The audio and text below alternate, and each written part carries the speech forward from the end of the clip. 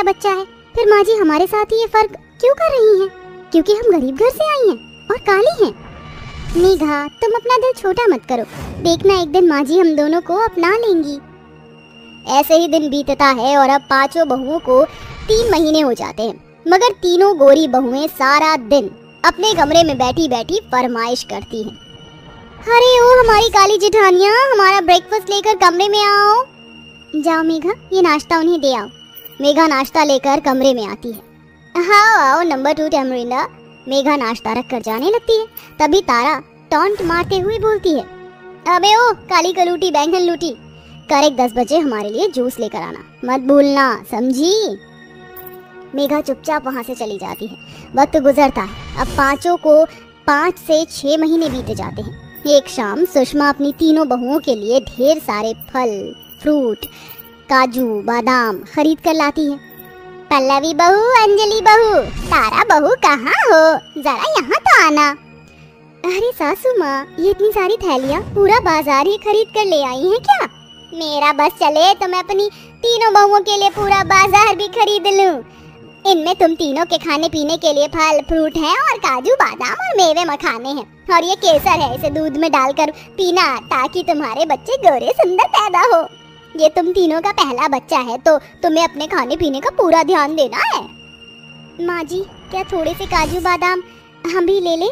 वो जैसे जैसे महीने बढ़ रहे हैं, शरीर में बड़ी कमज़ोरी आ रही है।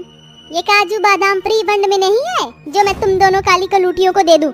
हमारे जमाने में औरतें रूखी सूखी रोटी खाकर भी हट्टे कट्टे बच्चे पैदा करती थी। दाल रोटी खाओ, उससे ताकत मिलेगी। सुषमा की इन बातों में उसका फ़र्क साफ़ झलक रहा था। हालाँकि उसकी तीन गोरी बहुओं की तरह अर्पिता और मेघा का भी पहला बच्चा था। मगर उन्हें रूखे सूखे के सिवा खाने पीने का कोई इंतज़ाम नहीं मिलता। साथ ही वो बेचारी बहुएँ सारा दिन सुबह से रात तक एक पैर पर नाचती रहती हैं। माँ जी, चाय। तुम दोनों को कितनी बार कहा है, ना दूध में तेज पत्ती डाला करो। मेरी तीनों बहुओं का ये पहला बच्चा है, उन्हें ताकत की ज़रूरत है। लग रहा है चाय में अपना काला रंग घोल दिया हो। हाँ। माफ़ कर दीजिए माँ जी मैं आगे से ध्यान रखूँगी। माँ जी आज शाम के खाने में क्या बनाना है, बता दीजिए। सुषमा, मेघा को चढ़ाते हुए तीनों गोरी प्रेग्नेंट बहुओं से पूछती है, बताओ मेरी प्यारी गोरी बहुओं, तुम्हें क्या खाने का मन है? सासू माँ मुझे कोफ्ते और रोटी खाना है और मुझे कड़ी चावल खाना है। मम्मी जी, मुझे तो अंडा कड़ी और पुलाव खाने हैं। अंडे का नाम सुनते ही मेघा का जी मचलाने लगता है। माँ जी ऐसी हालत में मुझसे और अर्पिता दीदी से अंडा कड़ी नहीं बनेगा, उससे दुर्गंध आती है। सुना आपने सासू माँ ये मेरा पहला बच्चा है और मुझे मेरे मनपसंद का खाना भी नहीं मिल सकता। ये कहते कहते तारा झूठ मूठ के रोने लगती है, जिस पर सुषमा भड़क कर कहती है। कान खोल कर सुन मेरी काली बहू, मेरी तारा बहू को अंडा कड़ी खाने का मन है तो तू बनाएगी, समझी? सुषमा ज़बरदस्ती दोनों पर अपनी जिद थोप देती है। अंडा कड़ी बनाते हुए अर्पिता, मेघा को बहुत उल्टियाँ होती हैं और दोनों की तबीयत बिगड़ जाती है।